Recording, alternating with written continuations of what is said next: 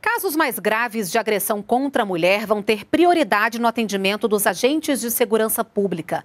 A partir de agora, policiais civis e militares podem contar com uma espécie de formulário para avaliar os riscos da violência doméstica. No ano passado, mais de 500 mulheres sofreram algum tipo de agressão por hora no país. O levantamento é do Fórum Brasileiro de Segurança Pública. Para combater essa realidade, foi lançado oficialmente o Formulário Nacional de Avaliação de Risco de Violência Doméstica. Conhecido como FRIDA, o documento vai auxiliar os agentes de segurança pública e do judiciário a priorizar os casos mais graves de ameaça às mulheres. Os responsáveis pela segurança pública, na, na ponta, policiais civis, policiais militares, precisam ter um instrumento claro para ranquear qual ameaça é mais forte? Qual agressão é iminente?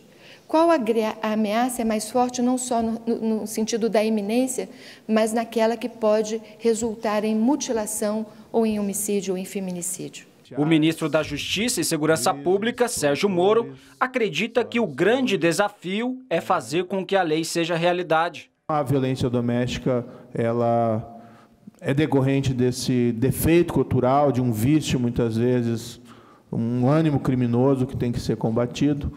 É, não vamos conseguir coibir de todo, mas a lei precisa dar resposta. Nós precisamos ter instrumentos na legislação para cuidar dessa questão.